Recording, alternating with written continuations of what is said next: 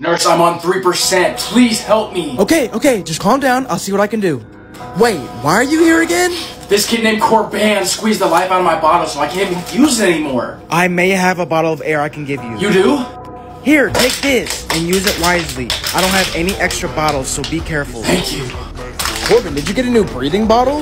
Yes, I got a new breathing bottle because Corban squeezed the life out of my old one. Did it only have enough to get you to 30%? Huh? 30%? How? I thought this would get me to 100. What is wrong with this thing? No matter I'm on 30%, there's a huge hole in it.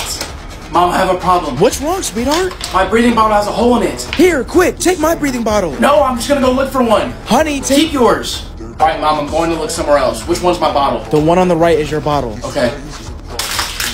Huh?